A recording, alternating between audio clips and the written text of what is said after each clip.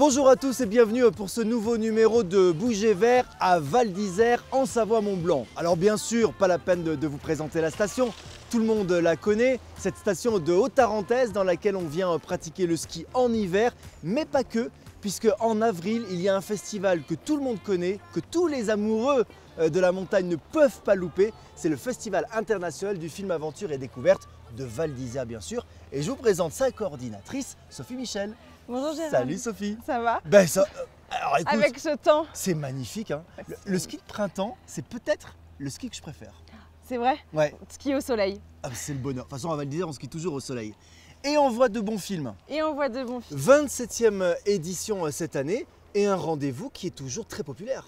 Un rendez-vous très populaire, oui, et très attendu aussi ici à Val d'Isère. Ben oui, parce que finalement, c'est un peu le rendez-vous des copains. C'est 4 jours de fête. Quatre jours de fête, quatre jours de films en compétition, des échanges, des moments euh, très conviviaux. Alors justement, on va parler des films, parce que finalement c'est ça l'ADN du festival, c'est de voir de beaux films de montagne et d'aventure bien sûr. Euh, il y a 11 films en sélection. Oui. Comment, comment sont sélectionnés ces films?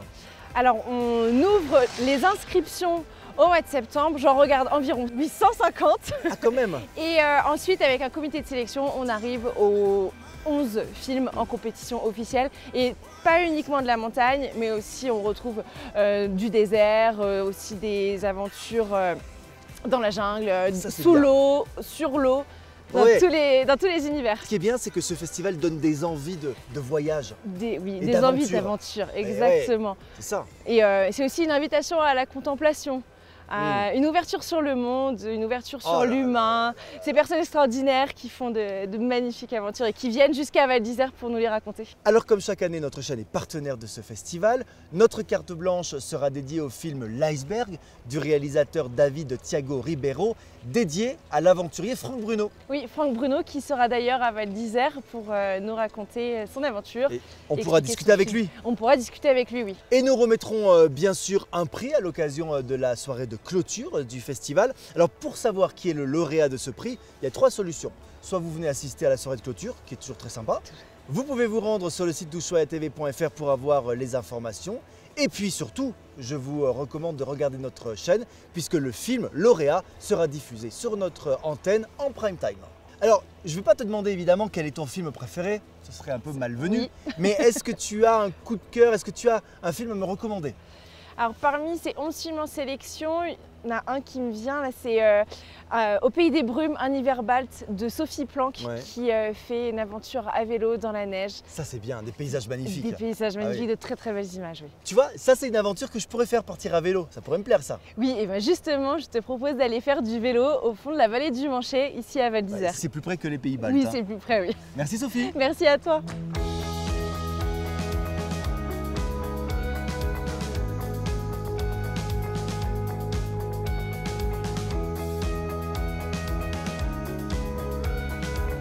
C'est vrai qu'on n'est pas dans les pays baltes, évidemment, mais regardez, c'est tout aussi beau. Et cette vallée euh, du Manchet qui euh, brille, qui s'illumine avec euh, le soleil de Savoie-Mont-Blanc. Alors, pour venir ici depuis le village, c'est très simple. hein. À pied, c'est quelques minutes, ça fait une belle rando. Ou bien vous empruntez le bus électrique jaune et gratuit. Électrique et gratuit, ça c'est important. Et puis cette vallée, c'est l'endroit idéal pour pratiquer toutes les activités outdoor hors ski. On fait tout ici, hein, du parapente, de la rando, du ski de fond et même du vélo euh, sur neige dans un petit paradis sur Terre.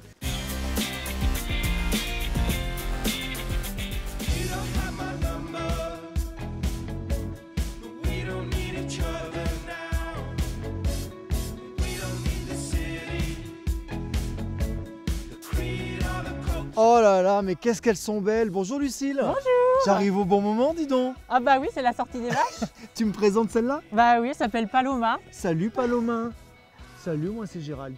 Bonjour. Oui, C'est ma petite curieuse. Ah bah oui, me mange pas la main tout de suite, hein, j'en ai encore besoin. Non, elle doit assez à manger. Bon, je suis content de te rencontrer, euh, Lucille, parce qu'on m'a beaucoup parlé de toi ici à Val d'Isère. On m'a dit, il faut absolument que tu ailles voir une ferme, c'est celle de la Droit, Oh, c'est gentil. celle de Lucille. Bah, c'est gentil, il n'y a pas que moi à voir. hein. Elles sont 30 avec moi, donc euh, 30 vaches, oui. mais aussi des cochons, Oui. des oui, chevaux Oui. et des, des- des poules. Oui, une oie aussi, un chien. Bon, C'est- c'est un peu mon arche de Noé. Dis donc. T'as un métier qui t'occupe, hein, c'est bien. hein. Euh, ouais, j'ai un métier passion, donc Ouais. euh, on se voit pas s'occuper. En fait, la journée, elle défile et au final, euh, on n'a pas vu passer. Alors justement, parle-moi un petit peu de cette passion. À la base, cette ferme-là, c'est celle de tes grands-parents. Oui, c'est mon grand-père qui est venu s'installer là avec les vaches. Et puis mon papa a repris avec ma grand-mère à son décès. Et puis on a suivi, euh, moi je suis euh, la troisième génération. Une histoire de famille donc que tu perpétues encore aujourd'hui. Oui. Avec ces vaches notamment qui sont très jolies. Tu peux me parler parce que celles-là, elles sont quand même super racées, elles sont élégantes. Oui, elles sont typiques. Elles sont élégantes parce qu'elles sont, elles sont maquillées autour des yeux. Ouais. Euh, vraiment, elles sont toutes noires autour des yeux. Elles ont aussi le bout du nez noir. C'est la race euh, brune des Alpes. Et ça, ça produit un lait particulier? Alors euh, oui, il y a toutes les races ont un lait particulier. Ce qui est très bien, c'est que celui-là est très fromagé, c'est-à-dire qu'on peut faire plein de sortes de fromages différents avec le même lait. Notamment, tu fais la faisselle, Oui, c'est ça, la le faisselle. fromage Oui. que tu livres au restaurant La Folie Ah oui, j'ai beaucoup de chance. Super restaurant d'altitude. Oui, très Et, bon. et alors, je vais te dire, toi, tu as de la chance de le fabriquer et moi, j'ai de la chance de l'avoir goûté avec le chef Christophe et je peux dire qu'elle est bonne cette Elle faisselle. est bonne, Oui. tant mieux. Tu vois, dès qu'on parle du fromage, hop, les vaches arrivent. Elles sont toutes là. C'est normal. Bon, on va les laisser un peu tranquilles et puis on part voir le reste. Allez, Allez, c'est parti.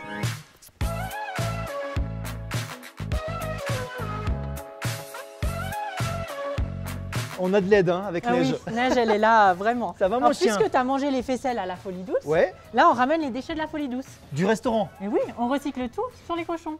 Les cochons mangent tous les restes de la folie douce. Ah les oui cochons de la ferme. Donc c'est que bien. les déchets alimentaires. Donc c'est bien parce que ça fait partie euh, d'un système en fait qui est très bien pensé. Ah oui, le but c'est de faire la boucle de A à Z. D'accord. Ils Donc prennent nos faisselles, hop, nous on récupère leurs déchets et après on les donne à nos cochons. du moment qu'il n'y a pas un ou deux touristes là-dedans, ça me va. Non, il n'y aura pas de touristes. D'accord. Alors comment ça se passe On leur donne à manger comme ça? Ah oui, c'est tout simple, ils ont des auges et je Ouais. vais verser dedans. À table À table tout le monde.